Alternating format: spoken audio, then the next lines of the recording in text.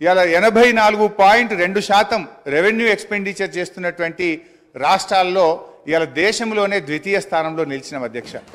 మొదటి స్థానంలో హర్యానా ఎనభై ఆరు పాయింట్ తొమ్మిది శాతంతో ఉండగా ఎనభై నాలుగు పాయింట్ రెండు శాతంతో తెలంగాణ దేశంలో రెండవ స్థానంలో నిలిచిందని ఈ నెల పదకొండున ఆర్బీఐ ఇచ్చినటువంటి రిపోర్ట్లో స్పష్టంగా చెప్పినారు అధ్యక్ష. అదేవిధంగా అధ్యక్ష అప్పుల విషయంలో కూడా ఇవాళ వాళ్ళు తప్పుదో పట్టించే ప్రయత్నం చేస్తూ ఉన్నారు. అధ్యక్ష ఇవాళ ఇరవై ఐదు శాతం దాటిందని కూడా ఒక దగ్గర నివేదికలు చెప్పినారు అధ్యక్ష. యాక్చువల్లీ అది ఎందుకు దాటిందో కూడా ఆ రోజు ఇదే ఆర్థిక శాఖ అధికారులు ఉన్నారు ఇవాళ ఇదే ఆర్థిక శాఖ అధికారులు ఉన్నారు. కాకపోతే మీరు చెప్పినట్టుగా వాళ్ళు కన్వీనియంట్గా చేసి ఉండొచ్చు.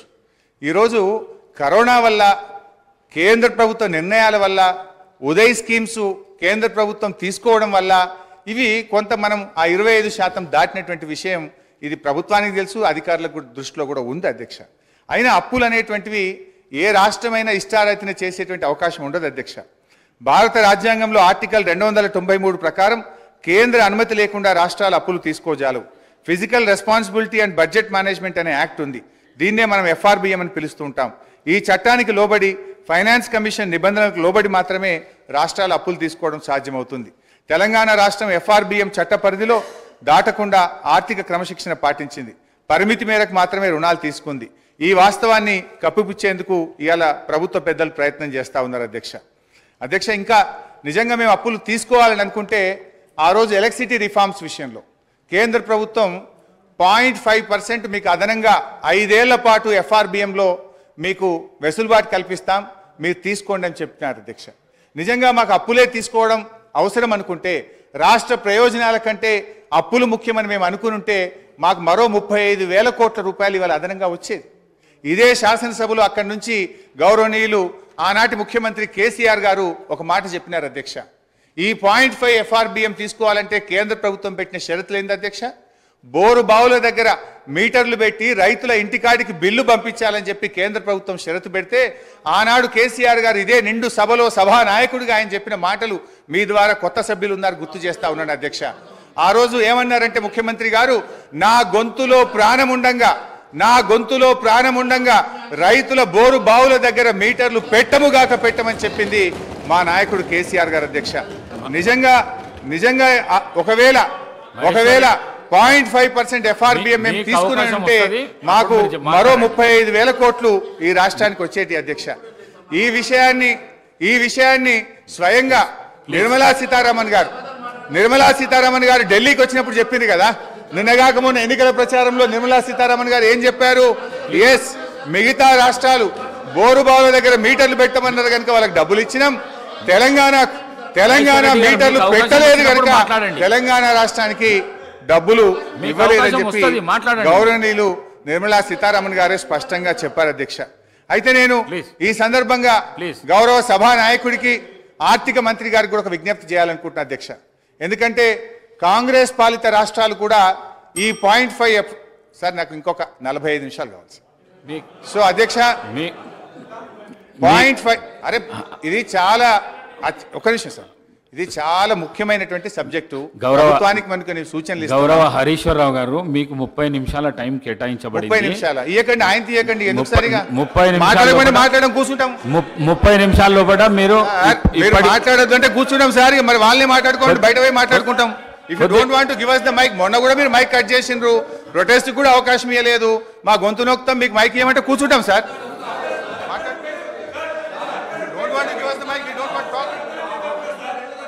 నేను నా నా మాట కొద్దిగా వినండి. ముప్పై నిమిషాల టైం కేటాయించబడింది.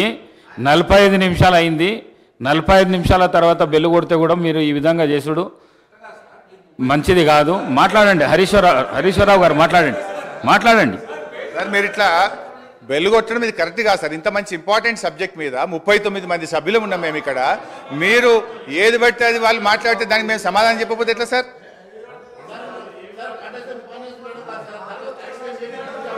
సో అధ్యక్ష మేము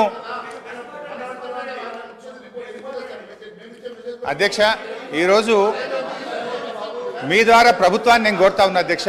ఇవాళ కాంగ్రెస్ పాలిత రాష్ట్రాలు రాజస్థాన్ హిమాచల్ ప్రదేశ్లు కూడా ఈ బోరుబావుల దగ్గర మీటర్లు పెట్టమని ఈ పాయింట్ ఫైవ్ పర్సెంట్ ఎఫ్ఆర్బిఎం ను ఇస్తా, కూర్చోండి. వారు.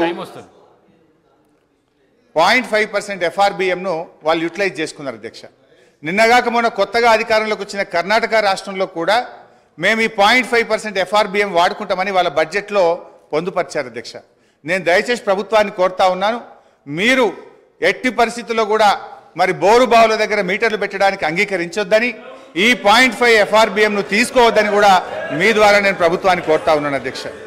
ఎందుకంటే అధ్యక్ష ఆనాడు కేసీఆర్ గారు ఆలోచించింది ఒక్కటే. ముప్పై ఐదు వేల కోట్లు ముఖ్యమా డెబ్బై లక్షల మంది రాష్ట్ర రైతుల ప్రయోజనాలు ముఖ్యమా అని ఆలోచించినాం అధ్యక్ష. ముప్పై ఐదు వేల కోట్ల రూపాయలు వాళ్ళు ఇచ్చే అదనపు అప్పు మంత్రి గారు అధ్యక్ష హరి. సీనియర్ శాసనసభ్యులు హరీష్ రావు గారు మాట్లాడడం ఇది అవాస్తవము. రైతులకి వ్యవసాయపు కరెంటుకి బిల్లు కట్టమని ఏ చట్టము ఏ కేంద్ర ప్రభుత్వం రికమెండ్ చేయలేదు. నేనెందుకు ఇంటర్వ్యూ అవుతానంటే గతంలో మీ ముఖ్యమంత్రి ఆ విషయంలో అబద్ధాలు మాట్లాడిండు ఈ రోజు మీరు అబద్ధాలు మాట్లాడుతున్నారు. బిల్లు కట్టమని చెప్పలేదు. నేను ఆ పార్లమెంట్ కమిటీ సభ్యుణ్ణి. నేను నేను ఆ పార్లమెంట్ కమిటీ సభ్యుణ్ణి. ఆ విషయం పదే పదే మీరు ప్రస్తావించడం దయచేసి ఈ అవాస్తవాలు శాసనసభలో ప్రస్తావించొద్దు.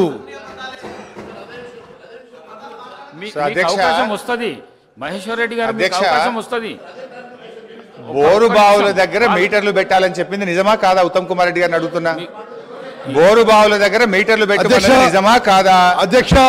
ఒకవేళ రైతుల నుంచి బిల్లు వసూలు చేయాలని చెప్పి ఆ రిఫార్మ్స్లో ఉన్నట్టుగా హరీష్ రావు గారు శాసనసభలో ఇప్పుడే చెప్పారు. ఆ రిఫార్మ్స్లో రైతుల నుంచి బిల్లు వసూలు చేయమని చెప్పి ఎక్కడా లేదు అని ఆ పార్లమెంట్ కమిటీ సభ్యుడిగా మీకు చెప్తున్నా. అధ్యక్ష అధ్యక్ష నేను స్పష్టంగా ఉత్తమ్ కుమార్ రెడ్డి అని అడుగుతున్నా. బోరు బావుల దగ్గర మీటర్లు పెట్టాలి. ఎంత కరెంటు కాల్చినరో లెక్క తేల్చాలని ఆ రిపోర్ట్లో ఉందా లేదా? అది చెప్పండి. అధ్యక్ష నేను చాలా స్పష్టంగా చెప్తున్నా. ఉచిత వ్యవసాయానికి ఉచిత విద్యుత్తులో వాళ్ళు ఏమన్నారు రైతులు బిల్లు కట్టాలని చెప్పి రిఫార్మ్స్లో ఉందని. ఆ రిఫార్మ్స్లో రైతులు బిల్లు కట్టాలని లేదు అని నేను ఆ పార్లమెంట్ కమిటీ సభ్యులు మీకు చెప్తున్నా.